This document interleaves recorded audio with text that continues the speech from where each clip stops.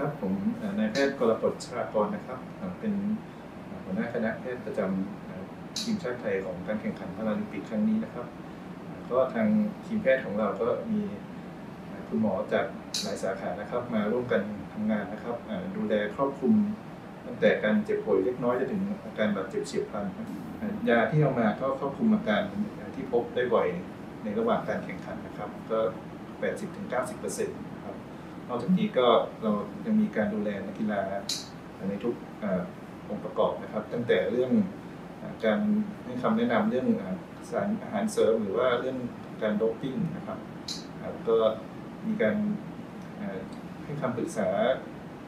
กรณีที่ต้องการฟื้นฟูสมรรถภาพ หรือว่าเสริมสร้างสมรรถภาพนะครับ แล้วก็กรณีที่มีการเจ็บป่วยในช่วงกลางคืน ก็จะมีคุณหมอเอ่อผลัด เปลี่ยนกันดูแลตลอดนะครับตอนนี้เรามีเลเซอร์แล้วก็สามารถฝังเข็มได้นะครับ นักกายภาพนะครับมาด้วยหนึ่งท่านนะครับ ก็จะช่วยเรื่องการ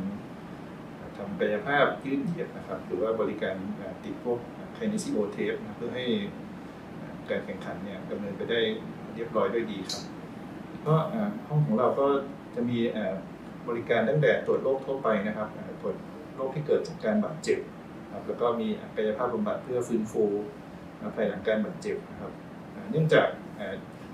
โดยในช่วงนี้เนี่ยเราต้องเน้นระยะเรื่อง social distancing แล้วก็ไม่อยากให้คนมาเจอกันเยอะๆนั่นจะใช้เป็นระบบนัดนะครับ ก็คือเป็นช่วงเวลาให้ให้นัดกันแล้วก็มาตามนัดนะครับ เพราะฉะนั้นนักกีฬาที่มาใช้บริการก็จะไม่แออัดนะครับแล้วก็ มั่นใจได้ว่าจะปลอดภัยนะครับ เราจะมีการวัดอุณหภูมิก่อนเข้ามาใช้บริการนะครับ แล้วก็วัดความหนาแน่นของออกซิเจน ก่อนใช้บริการ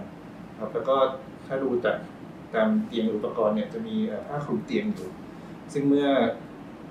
เสร็จจากการรับบริการแล้วเนี่ยก็จะมีการเปลี่ยนผ้าคลุมทุกครั้งนะครับ แล้วก็มีการทำความสะอาดด้วย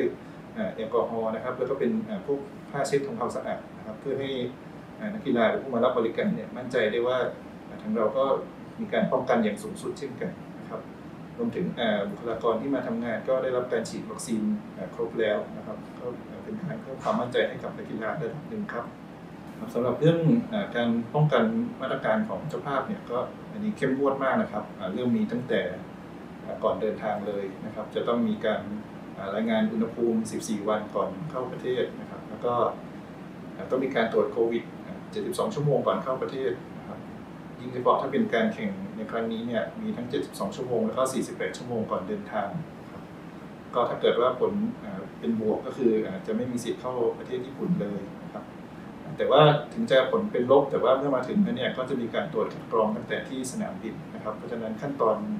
เมื่อมาถึงสนามบินเนี่ยก็จะใช้เวลาเพราะว่าต้องตรวจโควิดก่อน เมื่อโควิดผลเป็นลบถึงจะเข้ามาในหมู่บ้านนักกีฬาได้ ครับแล้วก็ในหมู่บ้านนักกีฬาเนี้ยก็คือจะเป็นระบบเป็น bubble นะครับ ก็คือเข้ามาแล้วออกไม่ได้ นอกจากตามสนามที่ได้รับการแนะนำเฉยๆนะครับเป็นสนามที่เราต้องขออนุญาตแล้วแล้วก็จะมีแอปพลิเคชันที่ทางญี่ปุ่นจะให้เราทำทุกวันนะครับ เป็นการรายงานอาการการรายงานอุณหภูมิรวมถึงแอปพลิเคชันติดตามตัวนะครับ เพราะฉะนั้นถ้า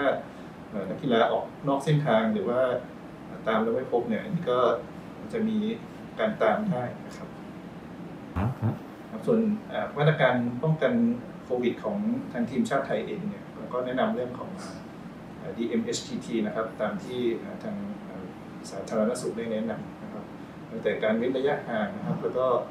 การแนะนำให้ล้างมือบ่อยๆนะครับ แล้วก็เรามีการตรวจวัดอุณหภูมิทุกวัน แล้วก็ส่งน้ำลายไปตรวจหาเชื้อโควิดทุกวันครับตามมาตรฐานของเจ้าภาพเท่าที่ดำเนินมาก็ของนักกีฬาไทยยัง